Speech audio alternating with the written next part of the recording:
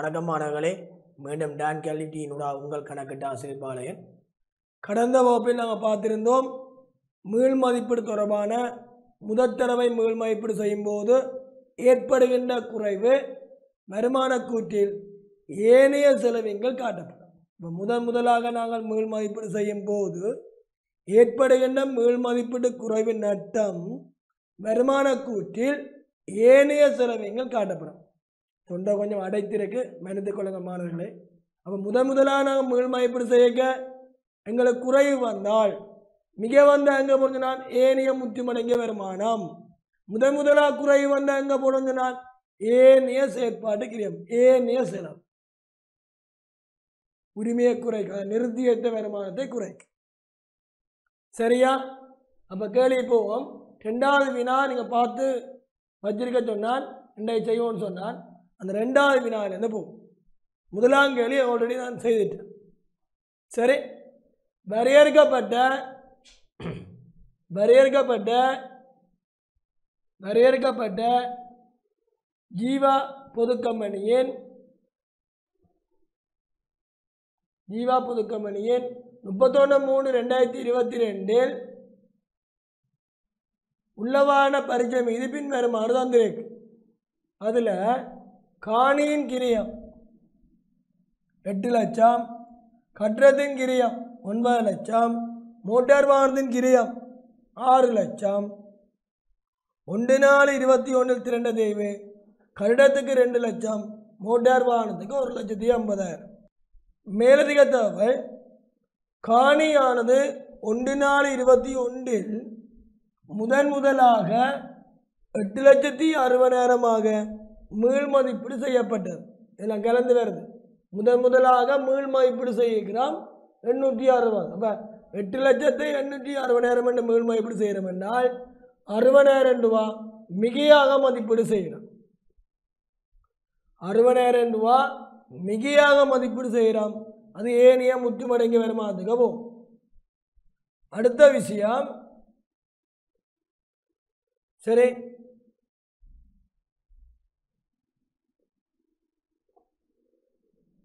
ரெண்டாவது பாருங்க சரி. கருடமானது முப்பத்தொன்று மூன்று முப்பத்தொன்று மூணு ரெண்டாயிரத்தி இருபத்தி ரெண்டில் முதன் முதலாக முதன் முதலாகனா உங்களுக்கு தெரியணும் இப்போ தான் நாம் மதிப்பீடு செய்கிறோம் ஏற்கனவே மதிப்பீடுதே இல்லை. முதன் முதலாக முதன் முதலாக மதிப்பிட தொகை தந்திரிக்கங்களுக்கு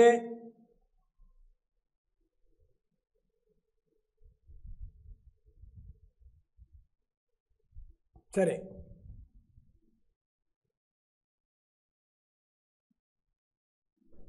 முப்பத்தொன்று மூணு ரெண்டாயிரத்தி முதன் முதலாக ஆறு லட்சம் ரூபாவாக மதிப்பிடப்பட்டது. மோட்டார் வாகனத்துக்கு முப்பத்தொன்று மூணு இருபத்தி ரெண்டில் முதன் முதலாக ரூபா அஞ்சு லட்சமாக மீள் மதிப்பீடு செய்யப்பட்டது. ஆதனம் பொறிமற்ற உபகரணங்களுக்கு வருடாந்தம் கிரியத்தில் பத்து வீதம் தேவை செய்யப்படும். வருடாந்தம் எத்தனை வீதம்? பத்து வீதம் தேவை செய்யப்படும். சரி. வருடாந்தம் பத்து வீதம் பெருமானத்தை செய்யப்படும். சரி. அங்கால பாருங்க வேண்டப்படுவது நாட்குறிப்பேட்டு பதிவுகள் ஏனைய செலவு ஏனைய முற்றுமடங்கிய வருமானத்தின் கீழ் காட்டப்படும் பெறுமதி. ஏனைய செலவு ஏனைய முற்றுமடங்கிய வருமானத்தின்கள் காட்டப்படும் பெருமதியை கேட்குறான். சரி ஒவ்வொன்றா பார்ப்போம். ஏனைய செலவு ஏனைய முற்றுமடங்கிய வருமானத்தின்கள் காட்டப்படும் பெருமதி அப்போ கேள்வியை பாருங்க. வரையறுக்கப்பட்ட ஜீவா பொதுக்கம்பெனி முப்பத்தொன்று மூணு இருபத்தி ரெண்டில் உள்ளான பரிச்சமை தந்திருக்கு. காணியின் கிரியம் எட்டு லட்சம் கட்டடத்தின் கிரியம் ஒன்பது லட்சம் மோட்டார் வாகனத்தின் கிரியம் மோட்டார் வாகனத்தின் கிரியம் ஆறு லட்சம் திரண்ட தெய்வம் தந்திருக்கு கட்டிடம் ரெண்டு லட்சம் நூற்றி ஐம்பதாயிரம் தந்திருக்கு சரி இப்போ காணிக்கானது ஒன்றுனா இருபத்தொன்று முதன் முதலான காணிக்கு என்ன இல்லை திரண்ட தேவி இல்லை ரைட் அப்போ மோட்டார் வாகனத்துக்கு முப்பத்தொன்று மூணு இருபத்தி ரெண்டில் முதன் முதலாக அஞ்சு லட்சம் ரூபா மீள் மதிப்பீடு செய்யப்பட்டது ஆதனம் பொறிமற்ற உபகரணங்களுக்கு வருடாந்தம் கிரியத்தில் பத்தியம் தெய்வம். அப்போ நான் ஏற்கனவே சொல்லியிருப்பேன். உங்களுக்கு தெரியும் காணிக்கு பிரச்சனை இல்லை. ஏன்டா காணி? எட்டு லட்சம் ரூபாய் இருந்தது. இப்போ நாங்கள் மதிப்பிட்ட பெறுமதி எட்டு லட்சத்தி அறுபதாயிரம். அப்போ அறுபதாயிரம் கூட்டி மதிப்பிட்டிருக்கிறேன்.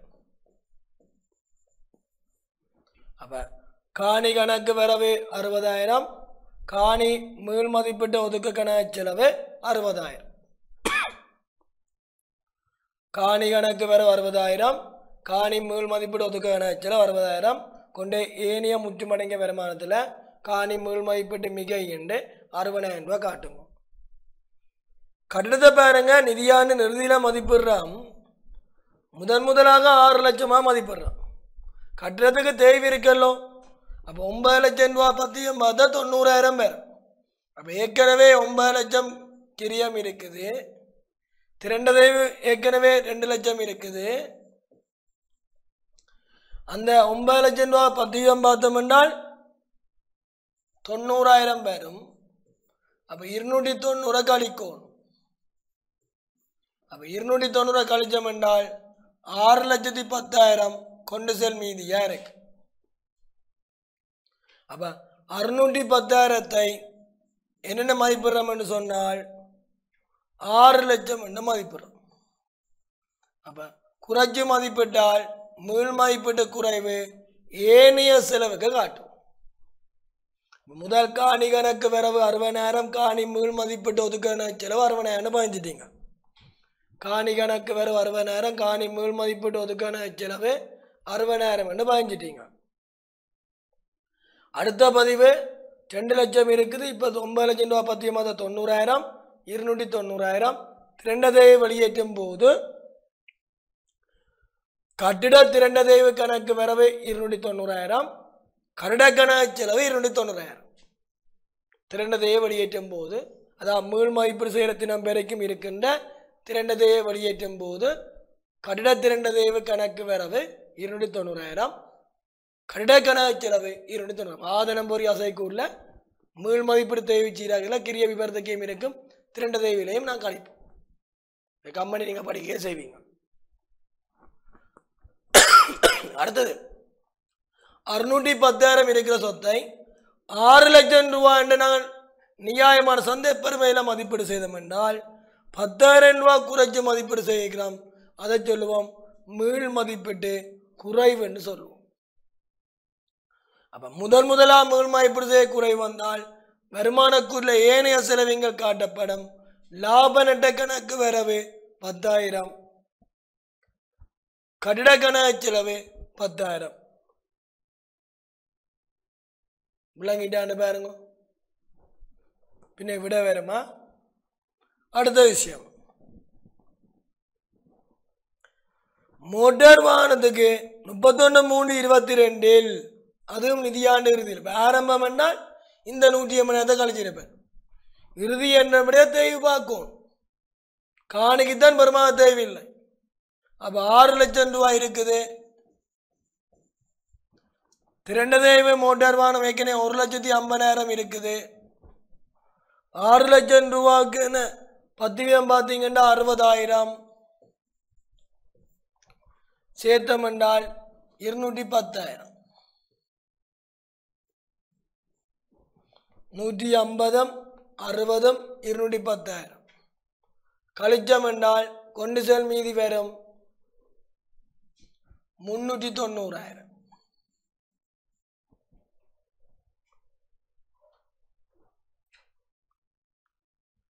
ஆறு லட்சம் நூற்றி ஐம்பது அறுபதும் இருநூற்றி பத்து கழிச்சா முந்நூற்றி தொண்ணூறாயிரம் முந்நூற்றி தொண்ணூறாயிரம் இருக்கிற சொத்தை அஞ்சு லட்சமாக மதிப்பிட்டிருக்கிறான் அப்போ நூற்றி பத்தாயிரம் கூடுதலாக மதிப்பிட்டிருக்கிறோம் ஆகவே மோட்டார் வாகனம் மீள் மதிப்பீட்டு மிகை. மோட்டார் வாகனம் மீள் மதிப்பீட்டு மிகை. முதன் முதலா மீள் மதிப்பீடு செய்ய மிக வந்தால் ஏனைய முற்றுமடங்கிய வருமானத்தின் கீழ் காட்டப்படும்.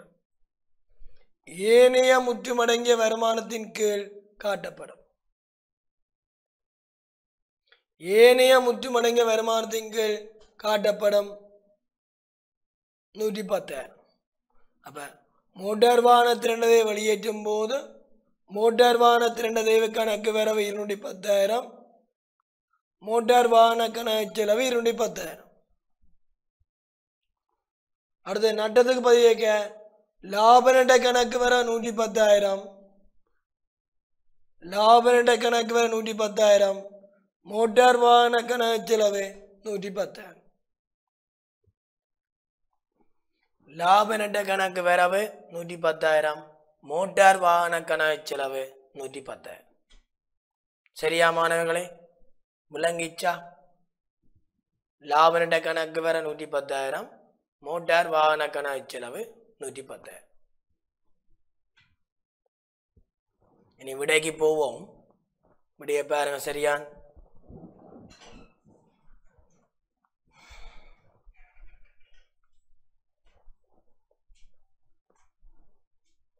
முதலாவது விடை காணி கணக்கு வரவு அறுபதாயிரம். காணி மீள் மதிப்பீட்டு ஒதுக்கான செலவு அறுபதாயிரம். காணினை முதத்தரவை தடவை மீள் மதிப்பீடு செய்யும் போது மிக ஏற்படுது. ரெண்டாவது கட்டிடத்துக்குரிய திரண்ட பிரமாணத்தை வெளியேற்றும் போது கருட திரண்ட தெய்வ கணக்கு வரை இருநூற்றி தொண்ணூறாயிரம் கருட கணக்கில் இருநூற்றி தொண்ணூறாயிரம் திரண்ட தெய்வினை வெளியேற்றும் போது. மூன்றாவது கட்டிட மீள் மதிப்பீட்டுக்கான நட்டத்தை பதிவு செய்யும் போது லாப நட்ட கணக்கு வரவு லாப நட்ட கணக்கு வரவு பத்தாயிரம் கருட கணக்கு செலவு பத்தாயிரம். லாப நட்ட கணக்கு வரவு பத்தாயிரம் கருட கணக்கு செலவு பத்தாயிரம் லாப நட்ட கணக்கு வரவு பத்தாயிரம் கருட கணக்கு செலவு பத்தாயிரம்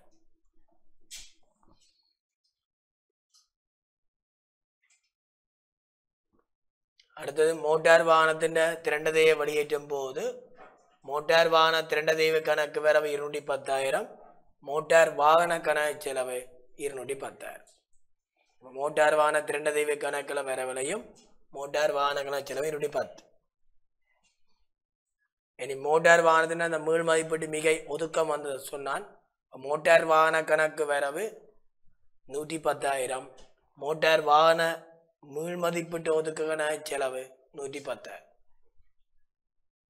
அப்போ மோட்டார் வாகன கணக்கில் வர வைக்கணும் நூற்றி பத்தாயிரம். மோட்டார் வாகன மீள் மதிப்பீட்டு ஒதுக்குகன செலவு வைக்கணும் நூற்றி பத்தாயிரம் முதல் தடவை மோட்டார் வாகனத்தினை மீள் மதிப்பீடு செய்யும் போது முதற் தடவை மோட்டார் வாகனத்தினை மீள் மதிப்பீடு செய்யும் போது பேக்கிங்ஸை பாருங்க விலங்குதாண்ட பாருங்க. பேக்கிங்ஸை பாருங்க விலங்குதாண்ட பாருங்க மாணவர்களை பாருங்க விலங்குதான்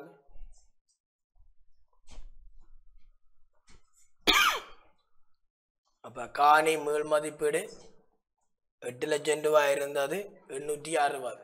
அப்போ அறுபதாயிரம் மீள் மதிப்பீடு மிக. கரட திரண்டதேவு ஒன்பது லட்சம் ரூபா பத்தியம் வேண்டாம் விருதில் மீள் மதிப்பீடு செய்கிறபடியால் கிரியந்தான் ஆரம்பத்தில் இருக்கும். அதுக்கு நாங்கள் ஒன்பது லட்சம் ரூபா பத்தியம் பார்த்தால் தொண்ணூறாயிரம் வரும். அப்போ தொண்ணூறாயிரம் ரெண்டு லட்சம் சேர்ந்தோம் என்றால் ஆ இருநூற்றி தொண்ணூறாயிரம் பேர் சரி அடுத்தது. அப்போ இருநூற்றி தொண்ணூறுண்டா ஒன்பது லட்சம் ரூபாய் இந்த இருநூற்றி தொண்ணூறு கழிச்சால் அறுநூற்றி பத்தாயிரம் பேரும் அந்த அறுநூற்றி பத்தாயிரம் சொத்தை ஆறு லட்சம் ரூபா மீள் மதிப்பீடு செய்கிறோம் என்று சொன்னால் நாங்கள் பத்தாயிரம் ரூபாய் அது பத்தாயிரம் ரூபாய் குறைச்சி மதிப்பிட்டிருக்கிறோம். அதான் அந்த மீள் மதிப்பீட்டு குறைவு நட்டம் வந்தது முதல் தடவை மீள் மதிப்பீடு செய்ய குறைவு வந்தால் ஏனைய செலவை காட்டும். சரியா மாணவர்களே? அடுத்தது. மோட்டார் வாகனம் ஆறு லட்சம் ரூபாய் இருக்கு. பத்து வீதம் பார்த்தோம் என்றால் அறுபதாயிரம் ரூபா வரும். அப்போ அறுபதாயிரம் ரூபாவும் ஏற்கனவே நூற்றி ஐம்பதும் இருந்தால் இருநூற்றி பத்தாயிரம் ரூபா திரண்டதை செய்யிட்டோம் மீள் மதிப்பீடு செய்கிற தினத்தில் இருக்கின்ற திரண்ட தெய்வு இருநூற்றி பத்தாயிரம். அப்போ நாங்கள் ஆறு லட்சம் ரூபாயிலேருந்து இருநூற்றி பத்தாயிரத்தை கழிச்சோம் என்றால் மூன்று லட்சத்தி தொண்ணூறாயிரம் ரூபா வரும். அந்த முந்நூற்றி தொண்ணூறாயிரம் ரூபாவை அஞ்சு லட்சம் ரூபா மதிப்பிடுறோம் என்றால் நூற்றி பத்தாயிரம் ரூபா கூட்டி மதிப்பிடுறா இருக்கு. நூற்றி பத்தாயிரம் ரூபா கூட்டி மதிப்பிட்டால் அதை சொல்லுவோம் மீள் மதிப்பிட்டு மிகை என்று சொல்லுவோம். மீள் மதிப்பிட்டு மிகை என்று சொல்லுவோம். மீள் மதிப்பிட்டு மிகை என்று சொல்லுவோம். சரி. ஏனைய செலவில் கடிடம் மீள் மதிப்பீட்டு குறைவு நட்டம். முதல் தடவை மீள் மதிப்பீடு செய்ய குறைவு நட்டம் என்றால் ஏனைய செலவுக்கு பத்தாயிரம் காட்டுவோம். ஏனைய முற்றுமடங்கிய வருமானத்தில் ஏனைய முற்றுமடங்கிய வருமானத்தில் காணி மீள் மதிப்பீட்டு மிகை என்று அறுபதாயிரம். மோட்டார் வாகன மீள் மதிப்பீட்டு மிகை என்று நூற்றி பத்தாயிரம் காணி மீள் மதிப்பீட்டு மிகை என்று அறுபதாயிரம். மோட்டார் வாகன மேல் மதிப்பீட்டு மிகை என்று நூற்றி பத்தாயிரம் ரைட் அப்போ முதல் முதல் மீள் மதிப்பீடு செய்ய மிக ஏற்பட்டு ரெண்டாம் தடவை மீள் மதிப்பீடு செய்ய குறை வரலாம். முதல் தடவை மீள் மதிப்பீடு செய்ய குறைவு வந்து ரெண்டாம் தடவை மீள் மதிப்பீடு செய்ய மிக ஏற்படலாம். முதல் குறைவு பேந்து மிக வரலாம். முதல் மிக வந்து பேந்து குறை வரலாம். சொல்ற விளங்குதமான கிடையாது அப்போ இங்கே நான் கவனிக்கணும் ஏற்கனவே நாங்கள் ரெண்டு வீடையும் பார்த்துட்டோம். கவனிக்கணுமான ராஜ் கவனிக்கணும். முதலாவது என்ன சொன்னான்? முதத்தரவை மீள் மதிப்பீடு செய்ய மிக வந்தது மிக வந்த அங்கே போம் ஏனைய முற்றுமடங்கிய வருமானம் ரெண்டாவது என்ன படிப்பிச்சினான் முதத்தரவை மீள் மதிப்பீடு செய்யக்க குறைவு வந்தாள். குறைவு எங்கே காட்டுவோம்? ஏனே செலவு இப்போ மாறி பார்ப்போம். அப்போ கவனியுங்கள். மூன்றாவது விடயம். மூன்றாவது விடயம். ஆதனம் பொறி மற்றும் உபகரணங்களினை முதன் முதலாக மீள் மதிப்பீடு செய்யும் போது மிக ஏற்பட்டு அப்ப ஆதனம் பொறி மற்றும் உபகரணங்களை முதன் முதலாக நாங்கள் மீள் மதிப்பீடு செய்யும் போது மிக ஏற்பட்டு மீண்டும் ரெண்டாம் தடவை மீள் மதிப்பீடு செய்யும் போது குறைவு ஏற்படுமாயின் முழு நோட்ஸும் முழுமையாக தந்திருக்கேன்னா இது ஆசிரியமாக இருக்கும் நிறைய கேள்வி பண்ணும். மாணவர்கள் நீங்கள் இதை பார்த்தீங்கன்னாவே காணும். மீள் மதிப்பீடு தொடர்பாக எந்த ஒரு ஐயப்பாடும் நீங்கள் விளங்கவில்லைன்னு சொல்ல தேவை. முழுக்களும் கிளியராக இருக்கு. இதை மிஞ்சி ஃபைனல் எக்ஸாம் இருக்காது. இதை மிஞ்சி ஃபைனல் எக்ஸாம் இருக்காது. பண்ணி கடந்த கால பரீட்சை வினாக்கள் எடுத்துப்பாரு. அப்போ முதன் முதலாக மீள் செய்யும் போது மிகை ஏற்பட்டு மீண்டும் ரெண்டாம் தடவை மீள் செய்யும் போது குறைவு ஏற்படுமாயின் மிகையின் அளவு ஏனைய முற்றுமடங்கிய வருமானத்திலிருந்து கழித்து காட்டுவதுடன் இந்த மிகைக்குரிய குறைவு இருக்குந்தானே? அதை ஏனைய முற்றுமடங்கிய வருமானத்திலிருந்து கழித்து காட்டுவதுடன் மேலேயுமா ஏற்படுற குறைவு மேலேயுமா ஏற்படுற குறைவானது மேலேயுமா ஏற்படுற குறைவானது ஏனைய செலவிங்கள் காட்டப்படும். உதாரணமாக சொல்கிறேன் ஆயிரத்தி அஞ்சூறு குறைவு வருது ஏற்கனவே மிகை ஆயிரம் இருக்கின்றால் அந்த ஆயிரத்தை முதல் மிகையா காட்டிக்கே ஏனைய முற்றுமடங்கிய வருமானத்தில் ப்ளஸ் பண்ணி காட்டியிருப்பேன். இப்போ நீங்கள் இந்த ஆயிரத்தை ஏனைய முற்றுமடங்கிய வருமானத்தில் கழிச்சு காட்டி போட்டு மேலேயுமா வார அந்த அஞ்சூரை கொண்டு ஏனைய செலவுகளை காட்டும். அஞ்சூறை கொண்டு ஏனைய செலவு கொண்டே காட்டும். இப்போ விளங்கிச்சா? சரி. நாக்குறிப்பேடு வளமை. முதல் என்ன வெளியேற்றணும் திரண்டதையே வெளியேற்றணும் மீள் மதிப்பீடு செய்கிற தினம் வரைக்கும் இருக்கிற திரண்டதையே வெளியேற்றணும் திரண்டதை எந்த பக்கம்? செலா பக்கம். அப்போ இல்லாமக்க என்ன செய்யணும்? திரண்ட தெய்வ கணக்கில் வர வைக்கணும். குறித்த சொத்து கணக்கில் செலா வைக்கணும். அப்போ திரண்ட பெருமான தெய்வ கணக்கு வரவு குறித்த சொத்து கணக்கு செலவு. திரண்ட தெய்வ கணக்கு வரவு குறித்த சொத்து கணக்கு செலவு. ரெண்டாவது மீள் மதிப்பீட்டு குறைவினை. மீள் மதிப்பீட்டு குறைவினை பதிவு செய்யும் போது. மீள் மதிப்பீட்டு குறைவினை பதிவு செய்யும் போது மீள் மதிப்பீட்டு ஒதுக்க கணக்கு வரவு லாப நட்ட கணக்கு வரவு குறித்த சொத்து கணக்கு செலவு மேல் மதிப்பீட்டு ஒதுக்க கணக்கு வரவு லாப நட்ட கணக்கு வரவு குறித்த சொத்து கணக்கு செலவு விளங்கிச்சா? ஏனென்றால் ஏற்கனவே ஒதுக்கம் முதன் முதன் முதலாம் மீள்மைப்படுத்த மிக வரைக்க செலவில் வச்சிருப்பேன். இல்லாமக்க மீள் மதிப்பீட்டு ஒதுக்க கணக்கு வரவு லாப நட்ட கணக்கு வரவு குறித்த சொத்து கணக்கு செலவு என்று வரும். குறித்த சொத்து கணக்கு செலவு. இனி உதாரண கேள்வி போவோம். கேள்வியை பாருங்க. கேள்வியை பாருங்க அன்பான மாணவ கேள்வியை பாருங்க. கேள்வியை நோட் பண்ணுங்க. இதெல்லாம் உங்களோட ஒவ்வொரு வருஷம் பேப்பர் ரெண்டாயிரத்தி இருபத்தொன்று பேப்பர்லேயும் வந்திருக்கு. ரெண்டாயிரத்தி இருபத்தோரு பேப்பரில் இருபதாம் ஆண்டு பேப்பர் ஒவ்வொரு முறை ரெண்டாயிரத்தி பதினாலாம் ஆண்டுக்கு பிறகு வந்த அனைத்து பாஸ் பேப்பர்லையும் ஒரு கேள்வி இருக்கும் பகுதி ஒன்றை பொறுத்த வரைக்கும். பகுதி ரெண்டில் கம்பெனியில் இருக்குது நிறைய மாணவர்கள் இது இது விளக்கம் இல்லாதபடியால் இதுக்கு மார்க்ஸ் எடுக்கிறே இல்லை. ஆனால் இது சின்ன வடியம் பெரிய வடியமே இல்லை. சரி. ரைட் கவனிப்போம். வரையறுக்கப்பட்ட டெனால் பிஎல்சியின் முப்பத்தொன்று மூன்று ரெண்டாயிரத்தி இருபத்தி ரெண்டில் உள்ள பரீட்சை மீது வந்திருக்கு சரி. காணி தந்திருக்கு அறுபது லட்சம். கருடன் தந்திருக்கு நாற்பது லட்சம் ரூபா. ஒன்று நாலு இருபத்தி ஒன்றில் திரண்ட தேவு கருடம் ஆறு லட்சம். காணிக்கு வராதுதானி காணி. மீள் மதிப்பீட்டு ஒதுக்கம் ரெண்டு லட்சம். கட்டிட மீள் மதிப்பீட்டு ஒதுக்கம் மூன்று லட்சம் இருக்கு.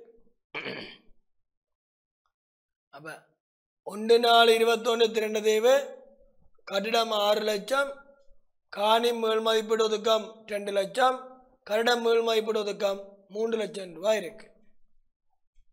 மேலதிக தகவல் காணியானது முப்பத்தொன்று மூன்று இருபத்தி ரெண்டில்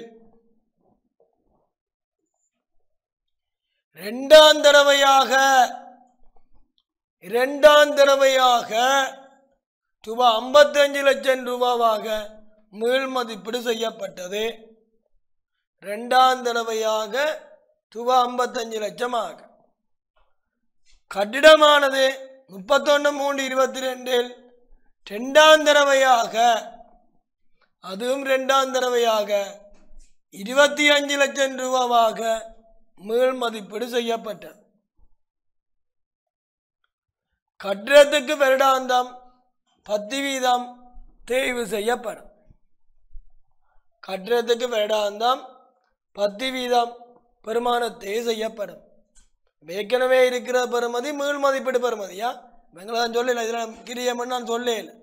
உண்மையாகவே மீள் மதிப்பீடு பெறுமதி முதற் தடவை மதிப்பிடப்பட்ட பெறுமதி அப்போ ரெண்டாம் தடவையாக ரூபாய் இருபத்தஞ்சு லட்சமாக மீள் மதிப்பீடு செய்யப்பட்டது. கட்டடத்துக்கு மீள் மதிப்பீடு பெறுமதியே.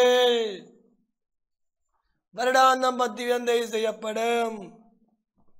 வேண்டப்படுவது. நாட்குறிப்பு பதிவுகள். ஏனைய செலவு ஏனைய முற்றுமடங்கிய வருமானத்தின் கீழ் காட்டப்படும் பெறுமதி. ஏனைய செலவு ஏனைய முற்றுமடங்கிய வருமானத்தின் கீழ் காட்டப்படும் பெறுமதி. சரியா மாணவர்களே? ஏனைய செலவு ஏனைய முற்றுமடங்கிய வருமானத்தின் கீழ் காட்டப்படும் பெறுமதி என்ன? அப்ப கவனிப்போம். காணி அறுபது லட்சம் ரூபாய் இருக்கு. மூணு சார் வெட்டி ஆறாயிரம். இப்போ ஐயாயிரத்தி ஐநூறுன்னு மதிப்பிடுறேன் மூணு சார் வெட்டி ஐயாயிரத்தி ஐநூறு. அப்போ உங்களுக்கு தெரியுது அஞ்சூறு குறைஞ்சிருக்கு உங்களுக்கு தெரியுது அஞ்சூறு குறைஞ்சிருக்கு ஏற்கனவே காணின்ற மீள் மதிப்பீட்டு ஒதுக்கம் ரெண்டு லட்சம் இருக்கு. ரெண்டா இருநூறு இருக்கு. அப்ப நீங்க என்ன செய்ய போறீங்கண்டா இது ரெண்டா பிரிய போகுது. இருநூறு ஏனைய முத்துமடங்கிய வருமானத்திலிருந்து கழிச்சு காட்டுவதுடன் முந்நூறு எங்க போகும் என்றால் ஏனைய செலவு காட்டப்படும். அப்ப இருநூறு என்ன செய்வேன்? ஏற்கனவே மேல் மதிப்பீடு ஒதுக்கமாக இருக்கிறபடியால் ஏனைய முற்றுமடங்கிய வருமானத்திலிருந்து கழிச்சு காட்டுவதுடன் மிகுதியா இருக்கிற முன்னூறு ஏனைய செலவிங்கள் காட்டப்படும். விளங்கிட்டா? டபுள் எல்லாம் வளாம இங்கே திரண்ட தேவையில்லை அப்போ லாப கணக்கு வர முந்நூறு அதான் கட்டிட காணி மீள்மதிப்பீடு குறைவு நட்ட கணக்கு வர முந்நூறு காணி மீள்மதிப்பீட்டு ஒது கணக்கு வர இருநூறு. மொத்தம் காணி கணக்கு செலவு அஞ்சூறு. அப்போ சொத்து அதிகரித்தல் சொத்து கணக்கில் வர வைக்கிற மாதிரி சொத்து குறைதல் சொத்து கணக்கில் செலவில் பதியப்படும். சரியா மாணவர்களே? கட்டிடமானது முப்பத்தொன்று மூன்று இருபத்தி ரெண்டில் ரெண்டாம் தடவையாக ரெண்டாயிரத்தி அஞ்சூறாக மீள்மதிப்பீடு செய்யப்பட்டது. கட்டுறதுக்கு ஏற்கனவே இருக்கிற மீள் மதிப்பிட பெருமதியில் பத்து வீதம். இப்போ மதிப்பிட பெருமதிக்கு அடுத்த வருஷம் தான் பார்ப்போம். இப்போ நான் பத்து வீதம் பார்க்க வேண்டியது ஆரம்பத்தில் இருந்த மீள் மதிப்பிட பெருமதிக்கு போன வருஷம் மீளிட பெருமதிக்கு அப்போ நாலாயிரம். அப்போ ஏற்கனவே அறுநூறு இருக்குது. இப்போ நாலாயிரத்துக்கு பத்து வீதம் பார்த்தா நானூறு சேர்த்தா ஆயிரம். கழிச்சா மூவாயிரம் பேர். மூவாயிரத்தை ரெண்டாயிரத்தி அஞ்சூறுன்னு மதிப்பிடுற அப்ப அஞ்சூறு மீள் மதிப்பீடு குறை நட்டம். கொண்டே ஏனே செலவு புள்ளா காட்டுறையில ஏண்டா ஏற்கனவே மிக இருக்குது. அப்போ மிகை முந்நூறு இருக்கு இப்போ முந்நூறை ஏனைய முற்றுமடங்கிய வருமானத்திலிருந்து கழிச்சு காட்டுவதுடன் மேலேயுமா எப்பற குறைவு இருநூறு ஏனைய செலவின்கள் காட்டப்படும். அப்போ முன்னூறு என்ன செய்யணும்? ஏனைய முற்றுமடங்கிய வருமானத்திலிருந்து கழிச்சு கா- ஏனையும் கழிச்சு காட்டணும்னா ஏற்கனவே நான் மிக வரைக்கும் ப்ளஸ் பண்ணி காட்டியிருப்பேன். இப்போ முன்னூறை கழிச்சு காட்டி மேலே எப்பற இருநூறை கொண்டு ஏனைய செலவின்கள் காட்டப்படும். அப்போ டபுள் என்று முதல் நாங்கள் திரண்டதை வெளியேற்றோணும் அப்போ அறுநூறு ஏற்கனவே வரைக்கும் இப்போ நானூறு பார்த்தோம்னா ஆயிரம். கட்டிட திரண்ட தேவை கணக்கு வரவு ஆயிரம் கட்டிட கணக்கு செலவு ஆயிரம். அடுத்த பதிவு கட்டிட மீள்மதிப்பீட்டு ஒதுக்க கணக்கு வரவு. கட்டிட மீள்மதிப்பீடு ஒதுக்க கணக்கு வரவு. முந்நூறு லாபநட கணக்கு வரவு. இருநூறு. லாபநட கணக்கு வர இருநூறு. மொத்தம் கட்டிட கணக்கு செலவு அஞ்சூறு ரெண்டு பேர் மொத்தம் கட்டிட கணக்கு செலவு அஞ்சூறு. ஏன் அந்த அஞ்சூறு பேர் விளங்கோணம்? மூவாயிரம் ரெண்டாயிரத்தி அஞ்சூறுன்னு மதிப்பிட்டது.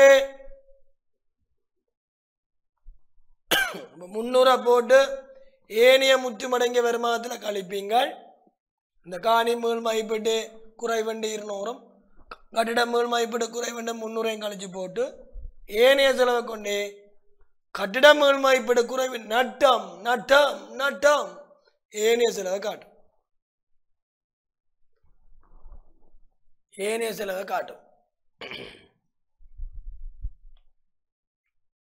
ஏனைய செலவை காட்டும்.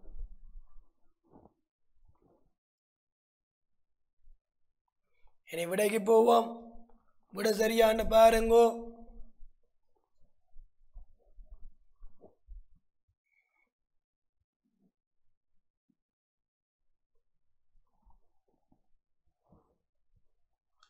காணி மீள் மதிப்பீட்டு ஒதுக்க கணக்கு வரவு ரெண்டு லட்சம். லாப நட்ட கணக்கு வரவு மூன்று லட்சம். காணி கணக்கு செலவு மூணு சேர்த்து அஞ்சு லட்சம். ரெண்டாம் தடவை மீள் மதிப்பீடு செய்யும் போது குறைவு ஏற்பட்ட.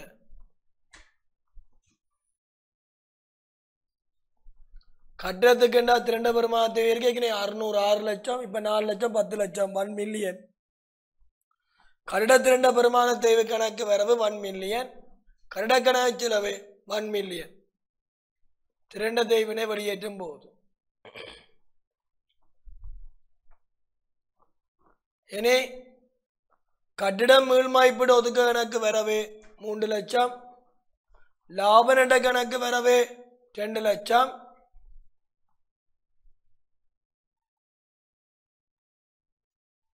கருட கணக்கு செலவு அஞ்சு லட்சம்.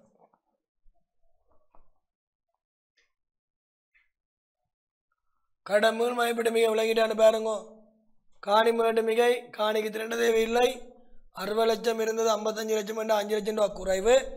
இப்போ அந்த அஞ்சு லட்சம் ரூபா இருக்கிறதை அந்த அஞ்சு லட்சம் ரூபா இருக்கிறதை ஏன் ரெண்டு லட்சம் ரூபா மூணு லட்சம் ரூபான்னு பிரியுது என்றால் ரெண்டு லட்சம் ரூபா ஆல்ரெடி ஏற்கனவே மேல் மதிப்பு ஒதுக்கமாக இருக்கிறபடியால் பேந்து நாங்கள் குறைவு வரும்போது அந்த குறைவை மிகையிலிருந்து ஈடு செய்யும். அதாலான் மீள் மதிப்பீடு ஒதுக்க கணக்கு வரவென்று சொல்லி இருக்கிறேன் விளங்குதா? மற்றது லாப என்ற கணக்கு வரவு ஏன்னு சில பதினீங்க வேண்டால் கட்டிட மீள் மதிப்பீடு குறைவு நட்டம் என்று எழுதலாம். மொத்தம் ஆ மொத்தம் கடகன செலவு அஞ்சு லட்சம் ரூபாண்டு பேர் மொத்தம் கட்டடக்கண செலவு அஞ்சு லட்சம் ரூபா விளங்கிச்சா திருப்தியா? ஓகே மாணவர்களே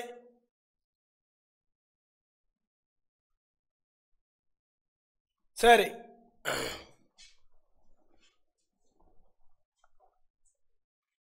இனி அடுத்த ஒர்க்கிங்ஸை பாருங்க. கட்டணம் செய்து காட்டிருக்கு திருப்தியான்னு பாருங்க. விளங்கிச்சான்னு பாருங்க. இதை நீங்க பார்த்தாவே காணும். அப்ப கருட திரண்ட தேவு. நாற்பது லட்சம் ரூபாய்க்கு பத்தியம் பார்த்தோம்னால் நாலு லட்சம் நாலு லட்சம் ரூபா வரும் ஏற்கனவே ஆறு லட்சம் இருக்கிறபடியெல்லாம் பத்து லட்சம் ரூபா திரண்ட தேவா வரும் அப்போ நாற்பது லட்சம் ரூபாயிலேருந்து பத்து லட்சம் கழிச்சால் முப்பது லட்சம் ரூபா வரும். அந்த முப்பது லட்சம் ரூபாய் இருபத்தஞ்சு லட்சம் மதிப்பிடும் என்றால் அஞ்சு லட்சம் ரூபா குறைச்சி மதிப்பிடுறோம். அஞ்சு லட்சம் ரூபா குறைச்சி மதிப்பிடுறோம். அந்த அஞ்சு லட்சம் ரூபா ரெண்டா பிரியம். ஏற்கனவே மூணு லட்சம் ரூபா ஏனிய முற்றுமடங்கிய வருமானத்தை கழிச்சு காட்டுவுடன் மேலே மதிப்பிற ரெண்டு லட்சம் ரூபா ஏனைய செலவின் கீழ் காட்டப்படும். ஏனைய செலவின் காட்டப்படும். அப்ப ஏனைய செலவில் காணி மீள்மதிப்பீடு குறை நட்டம் மூன்று லட்சம். கட்டிட மீள்மதிப்பீடு குறை நட்டம் ரெண்டு லட்சம்.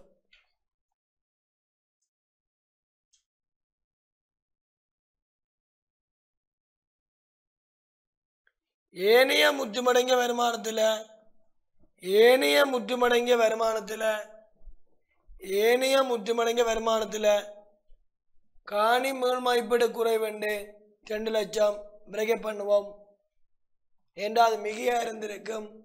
இப்போ கழிக்கிறோம். கட்டிட மேல் மதிப்பீடு குறைவண்டு. மூன்று லட்சம் ரூபா கழிக்கிறோம்.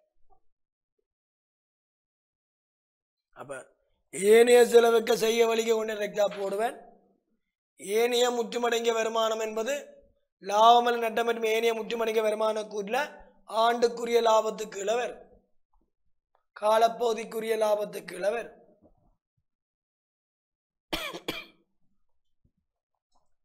சரியா மாணவர்களே?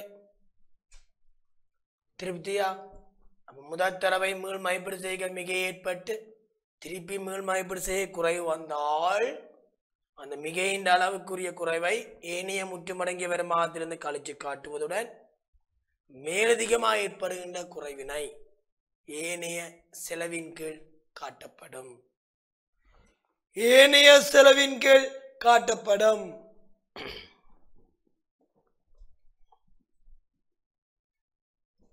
கேள்வி ஒன்று காட்சிப்படுத்தப்படுது. நோட் பண்ணிக்கொள்ளுங்க இந்த தொடர்ச்சியான வகுப்பில் இது தொடர்பான விளக்கத்தை அடுத்து வரும் வகுப்பில் பார்ப்போம். ஆகவே கேள்வி தேவையானாக்கள் நோட் பண்ணிக்கொள்ளுங்கள் தொடர்ச்சியாக டேண்டியுடன் என்ன கணக்கெட்டு பாடத்துடன் இணைந்திருங்கள். மீண்டும் ஒரு அடுத்த வகுப்பில் சந்திக்கும் வரை விடைபெற்றுக் கூட உங்கள் கணக்கெட்டு ஆசிரியர் பாலையன் நன்றி வணக்கம். கல்வி டிவியில் புத்தம்புது நிகழ்ச்சிகளை உடனுக்குடன் பார்த்து மகிழ எமது ஃபேஸ்புக் மற்றும் யூடியூப் பக்கத்தை லைக் செய்யுங்கள்.